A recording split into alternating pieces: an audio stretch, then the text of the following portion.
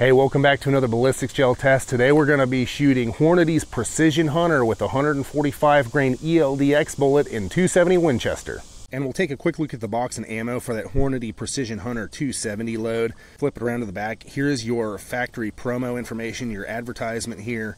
Go ahead and pause and read that if you would like to flip it over to the side. Here is your velocity info. It doesn't have a barrel length listed, unfortunately, so we'll see how close we get to 2970.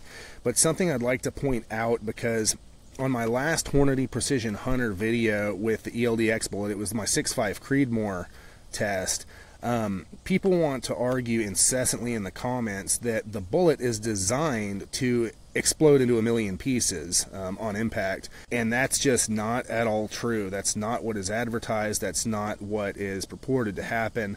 It is advertised as holding together and expanding across a wide range of velocities. And that 6.5 Creedmoor load I tested impacted at below, well below 2,660 feet per second, and all three bullets completely exploded on impact. That's why I called it a catastrophic fail, because it objectively catastrophically failed versus what is advertised directly on the box, what it is supposedly made to do, right?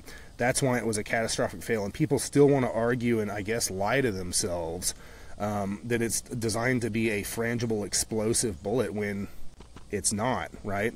Now, if it had a picture of a million little bits and pieces and said this bullet explodes on impact, I wouldn't call it a catastrophic fail. I would call it a varmint bullet, yeah, but I wouldn't call it a catastrophic fail. But when it when when a when a bullet doesn't do what it's advertised to do, catastrophically, it is a fail in my book. So that's why I called it that.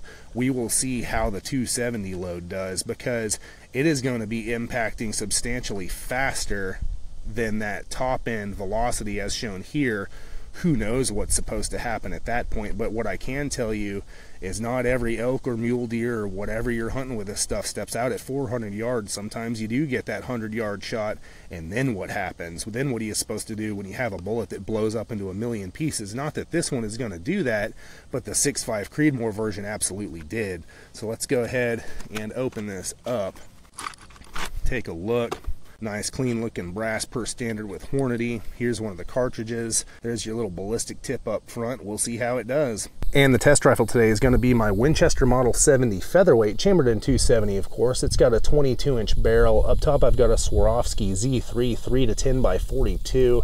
And bringing up the rear of course I've got one of my Mason leather cartridge cuffs. I've got 270 stamped right in check out my website masonleather.com i would absolutely love to make you one and i have got to show you coming around to the other side i've got my white-tailed deer design We'll be taking three shots from 100 yards, firing into 10% ballistics gel that has been calibrated to meet the FBI's ballistics testing protocol. And while ballistics gel isn't an exact proxy for big game, it does provide a repeatable medium through which to test various bullets and ammo against each other. After the shots, we'll examine bullet expansion, weight retention, penetration, and velocity.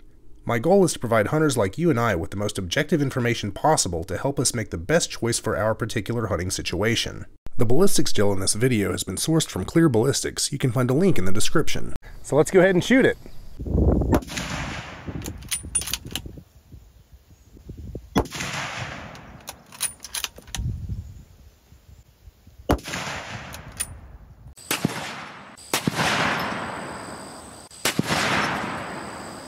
All right, y'all, it's the moment of truth. I'm down here at the blocks after shooting those 145 grain Hornady Precision Hunter ELDX bullets out of the 270 Winchester. Did they blow up on impact? Did they fragment into a million pieces like the 6.5 Creedmoor ones did for some reason? Let's take a look. No, they did not. We actually captured all three bullets and they are, for the most part, intact. So let's go ahead and take a look at them. Here's one right there, there's one right there, there's one right there. Let's look at penetration. So it's kind of hard to tell, it's right there we got about, I'm going to call it 22 inches. I'm going to call this one, I'm going to round up. I'm going to call that 25 inches. And then where's the other one? Oh, it's way over there. That one's at about the 23, no, 22 inch mark. So we have three ELDX bullets that for the most part held together and actually penetrated pretty good. And these things were trucking along really fast out of the 270 Winchester. We'll look at velocity in a second. Let's go over to the first block. And it is, it is shredded pretty good in here We've got a really explosive wound cavity that opens up almost immediately inside the block, goes back, starts to taper off, and really ends at about the 14, 13 and a half inch mark. You could call it tapering off right here, even at the nine inch mark.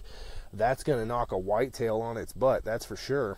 Now, seeing this, these 270 ELDX bullets are going quite a bit faster than the 6.5 Creedmoor load that I tested where the bullets completely exploded. All three shots totally blew up. The bullets, there was almost nothing left.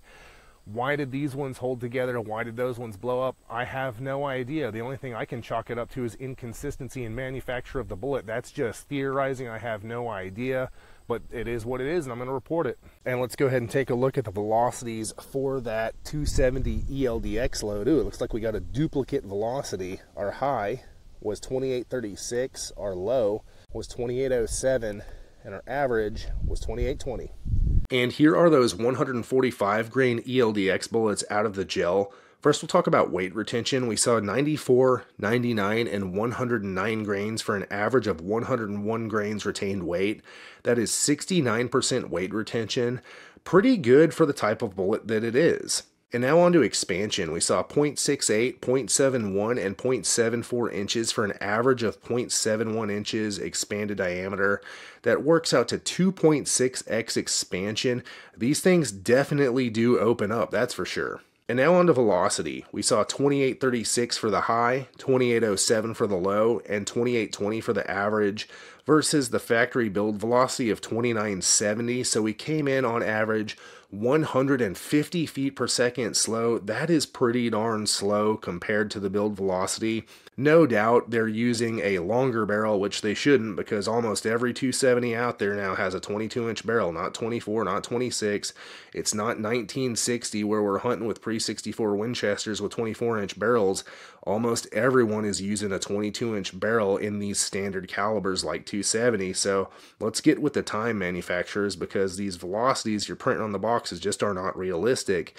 And the problem I have with that is that people take that information and input it into ballistics calculators and calculate drop at range and they're shooting at game like that and wounding animals missing stuff like that that's why we need realistic data and that's what i'm here giving you now on to penetration. We saw 22 inches, 22 inches, and 25 inches for an average of 23 inches of penetration. That is right there on par with a lot of really good 270 and 30-06 loads that I've tested. So I'm really happy with that. That's going to do what you need it to. All right, y'all, time for my final thoughts on that Hornady Precision Hunter 145 grain ELDX load out of the 270 Winchester. We had pretty decent weight retention, 69% weight retention, really good expansion 2.6x expansion it wasn't super uniform the bullets were pretty mangled and mashed up looking but hey it may it'll make a big old hole that's for sure and then velocity wise we were quite a bit low factory build velocity 150 feet per second low to be precise I've seen better, I've seen worse. This is sort of par for the course. I'm not super disappointed with it. If you happen to be one of the handful of people out there hunting with a 24 inch barreled 270 Winchester, because pretty much nobody is, since the 1970s, most of your 270s, 30-06s, your standard deer calibers have had 22 inch barrels. The amount of people hunting with 24 inch barreled standard calibers is almost none. So I don't know why the factories test with these long barrels. It's kind of ridiculous. But if you're one of those people, you might be able to wring out some more feet per second out of this stuff. But regardless, it's still going really fast. And then penetration wise, pretty good penetration, 23 inches on average. That'll definitely do the job for whatever you need it to. And then we're going to talk about kinetic energy. So with a 145 grain bullet, averaging 2,820 feet per second at the muzzle, we're looking at 2,561 foot-pounds of kinetic energy. That's more than enough for any whitetail or elk or anything like that at reasonable ranges. And I'm going to start rolling in a kinetic energy bit into every video going forward. It's just another piece of data that we can use to compare loads to each other. All in all, I'm actually really happy with the performance of this Hornady Precision Hunter ELDX load. We all remember, and if you don't, go back and watch the video The 6.5 Creedmoor ELDX load, the Hornady Precision Hunter, that stuff absolutely failed. It was catastrophic. It exploded on impact into a million pieces. All three bullets did.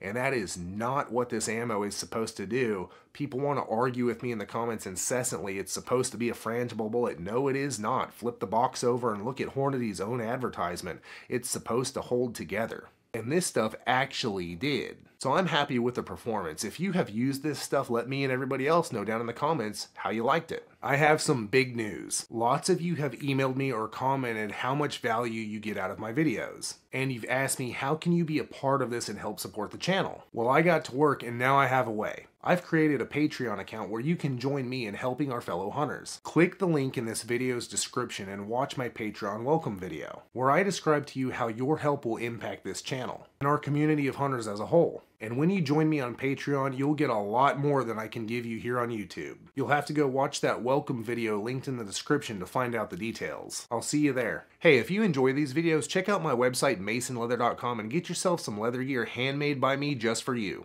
I've been handcrafting leather gear for hunters for over a decade and I would love to make you something. The link is in the video description. And check out my channel for more hunting ammo ballistics gel tests.